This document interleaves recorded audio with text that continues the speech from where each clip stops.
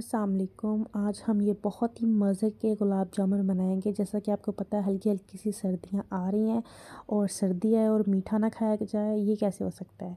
चलिए जी, recipe start करते हैं। यहाँ मैंने डेढ़ कप जो है, वो पानी लिया है और इसमें वन कप जो है, मैं इसमें शुगर ऐड करूँगी, चीनी और हम इसको बॉयल होने के लिए रख देंगे।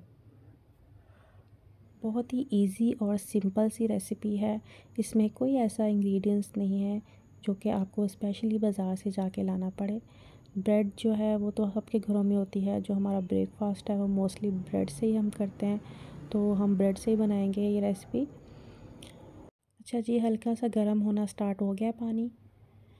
इसको मैं मिक्स कर रही हूँ ताकि जो चीनी है, सारी अच्छी तरह डिज़ोल्व हो जाए। अब मैं इसके अंदर जो है सब्ज़ इलायची डालूँगी, चार अदद इसको मैंने खोल दिया है ताकि जो खुशबू है अच्छी तरह वो पानी में मिक्स हो जाए। जब तक इसके दो से तीन बॉयल्स आ रहे हैं, तब तक हम जो ब्रेड है वो रेडी कर लेते हैं। यहाँ मैंने सात ब्रेड के स्लाइस लिए हैं, बड़े साइज़ के ब्रेड लिए मैंने। इसके जो एजेस हैं वो हम रिमूव कर देंगे।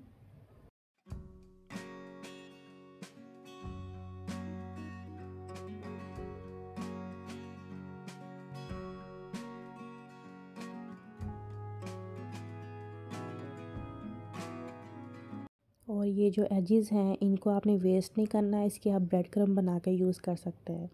चले जी, यहाँ मैंने ब्रेड के जो है, वो क्रम्स बना लिए हैं।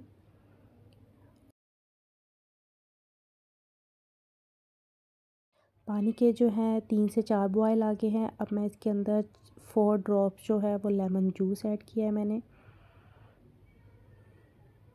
और ये हमारा शीरा जो है, वो डन हो चुका है। इसको हम निकाल लेते हैं। और ठंडा होने के लिए रख देंगे। अब मैं इसके अंदर डालूँगी ज़ाफ़रान एसेंस डालूँगी। अगर आपके पास साफ़रान है तो आप वो डाल दीजिएगा। लेकिन ये बिल्कुल ऑप्शनल है। अगर आपके पास एसेंस भी नहीं है तो आप ना डालिएगा। मैं टू ड्रॉप जस्ट इसमें ऐड करूँगी और इसे मिक्स करूँगी। इससे बहुत अच्छी खुशबू आती है और बिल्कुल बाज़ार जैसे बनते हैं। चलिए मिक्स करके हम इसे ठंडा होने के लिए रख देंगे। अब हम अपनी बॉल्स बना लेते हैं। यहाँ मैंने सिक्स टेबल स्पून जो है वो दूध लिया है और इसे हम थोड़ा थोड़ा करके ऐड करेंगे। पहले मैंने थ्री टेबल स्पून लिया है, अब मैं इसे ऐड करूँगी थोड़ा थोड़ा करके। क्योंकि अगर ज़्यादा इसमें दूध डाल दिया जाए तो वो हमारे जो गुलाब जामुन हैं वो टूटने लग जाएँगे।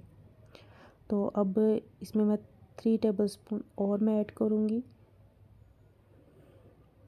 आपने कम भी नहीं डालना, अगर आप कम डालोगे तो आपके जो गुलाब जामुन है वो हार्ड हो जाएँगे और अगर आप दूध ज़्यादा इसमें ऐड कर दोगे तो फिर वो गुलाब जामुन टूट जाएँगे। आलमोस्ट सिक्स टीस्पून्स के करीब मैंने इसके अंदर दूध ऐड किया है।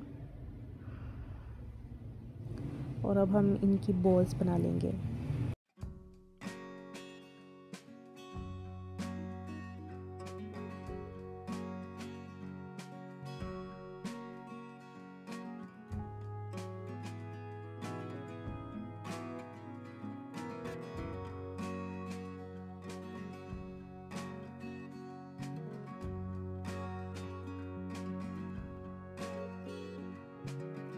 बॉस जो हैं वो रेडी हैं।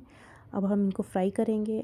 ऑयल बिल्कुल लाइट सा जो है वो गर्म होना चाहिए। जब ये ऑयल्स के अंदर आप देख रहे हैं बबल्स बनने स्टार्ट हुई हैं तो हमने इसके अंदर अपनी बॉल्स जो है गुलाब जामुन की वो ऐड करनी है। ऑयल का टेम्परेचर इतना होना चाहिए कि ये जो बॉल्स हैं उनके हल्के हल्के से बबल्स बनने स्टार्ट हो जाए।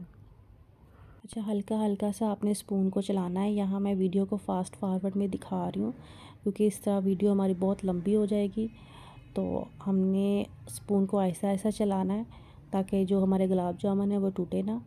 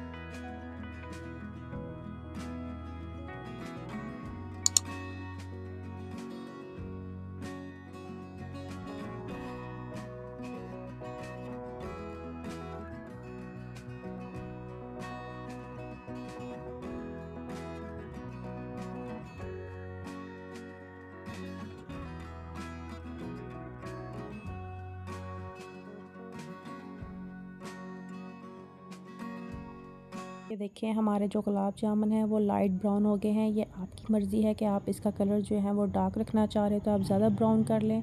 और अगर आपको ये कलर लाइट रखना है तो आप इसको निकाल लें। अब मैं इनको निकाल के शीरे में डिप कर दूँगी। और शीरा जो है, वो हल्का सा गर्म होना चाहिए। आपने बिल्कुल ठंडे शीरे में भी नहीं डालना और ज़्यादा गर्म में भी नहीं डालना।